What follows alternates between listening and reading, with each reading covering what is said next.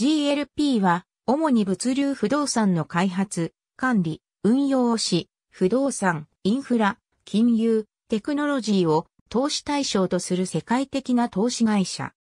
2009年、ソブリンウェルスファンドであるシンガポール政府投資公社によって設立された。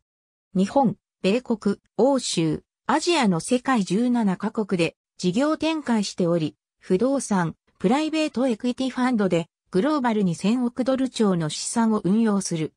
ブランドスローガンは、ビヨンドザベスト GLP は、グローバル物流不動産市場における最大級の先進的物流施設プロバイダー及び投資マネージャーである。3PL、EC 大手、小売、食品、アパレル、メーカー、医療をはじめ、アマゾンや JD.com など世界的な e コマース企業にサービスを提供。GLP 保有物件の入居テナント数は1800社長である。プライベートエクイティビジネスでロボット工学、自動化、ビッグデータ、テクノロジー分野など、物流テック企業へ投資を行う。日本 GLP 株式会社は GLP の日本法人で、日本における物流業界首位、ユーロマネーシ、産業、物流施設デベロッパー最優秀賞で7年連続受賞。GLP、アルファリンクブランドの先進的物流施設を開発。全国で約130棟、約980万平方メートルの施設を開発。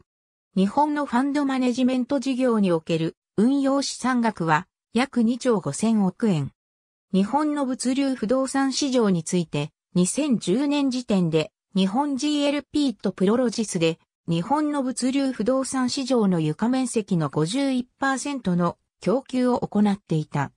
日本の物流不動産市場の主要プレイヤーと床面積シェア、アルファリンクは、プロジェクト全体の延べ床面積が約90万平方メートル超の世界最大規模の物流プロジェクト。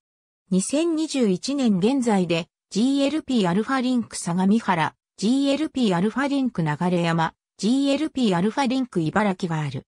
アルファリンクのブランドのコンセプト、ネーミングなどはユニクロや楽天の企業ロゴを手掛けるクリエイティブディレクターの佐藤菓子和氏によるものである。物流施設において、レストラン、オープンカフェテリア、ラウンジ、貸し会議室、ランニングコース、イベントスペースシェアキッチン、女性用パウダールーム、託児所、レンタルサイクル、VIP 送迎、カーシェアリング、大型駐車場、専用バス、宅配ロッカー、コインランドリー、コインシャワー、リング、コンビニ、展望デッキ、メインエントランス、センターストリート、ウェルネスエリア、アルコキッチン、ワーキングスペースなどを施設によって整備。アルファリンクプロジェクト一覧株式会社モノフルにおいて、物流向けソリューション開発を行っている。モノフルは日本 GLP のグループ会社の出資により2017年11月に設立。物流業界が抱える課題や多様化するニーズに応えるために企業とのパートナーシップを強化し、ロジスティクスエコシステムを推進している。トラックの長時間待機問題を解消するトラック、受付、予約サービス、トラック簿の提供、配車プラス、適材ナビなどの物流サスプロダクトの開発がある。また、モノフルにおいて、物流テックに関するスタートアップ企業に VC 投資も行う。東京大学先端科学技術研究センターに設置される先端物流科学寄付研究部門へ支援を行い、高度物流人材の育成をバックアップしている。総合商社の三井物産とトヨタグループの豊田自動食器との3社出資による合弁会社プラスオートメーション社を設立。物流施設の自動化に向けた最新のロボットサービスの導入支援を行っている。累計ロボット導入台数は1000台を超える。佐川急便などと災害時連携協定を締結し、PCP に注力した施設の開発、運営を手掛けている。なお、2011年の東日本大震災時には GLP が保有する物流施設が緊急支援物資の輸送拠点として活用された。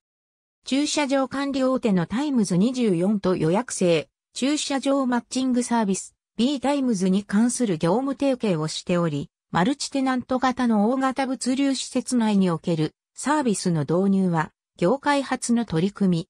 み。2021年、大阪市から大阪市東住吉区、矢田南部地域における開発事業者に選定された。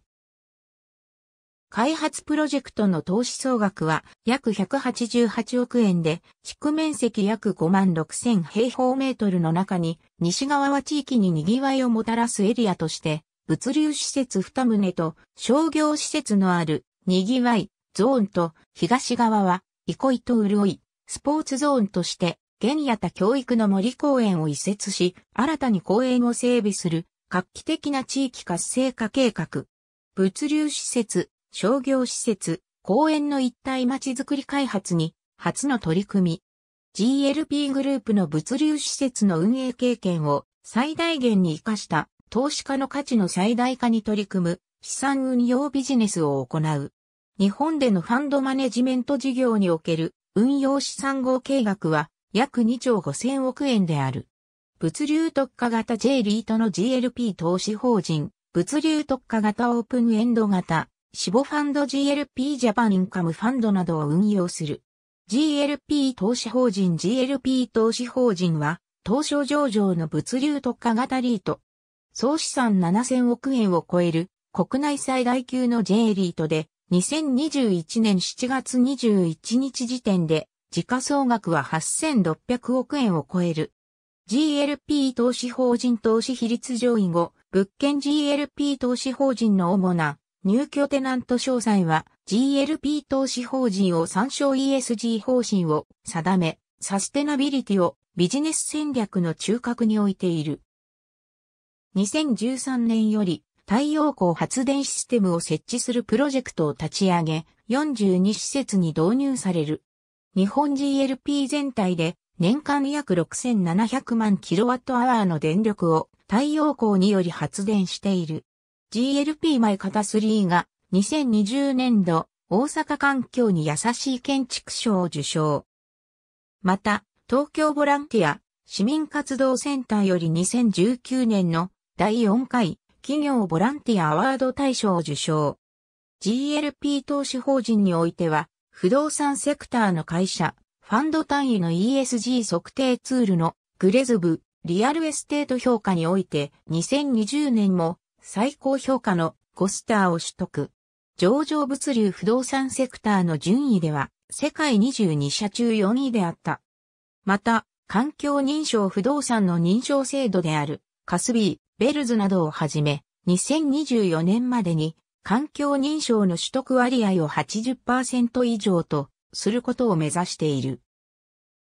2020年9月に J リート初となるサステナビリティボンドを発行。2021年3月にも3度目のサステナビリティボンドを発行している。2014年に設立したサステナビリティタスクフォースを2021年4月に ESG 委員会として新たに組織化するなど ESG の取り組みを推進している。PCP への対応として地方自治体と災害協定を締結している。2011年3月に起こった東日本大震災においては日本 GLP の施設は災害直後に救援物資の保管、配送拠点として稼働するとともに災害避難場所としての役割を担った。行政との協定体制の構築を進めており、現在では9カ所の施設にて、地元自治体との災害協定を締結。災害時には、近隣住民の避難場所として、物流施設を開放し、地域の防災拠点としての役割を果たしている。アルファリンクシリーズ、GLP シリーズ。ありがとうございます。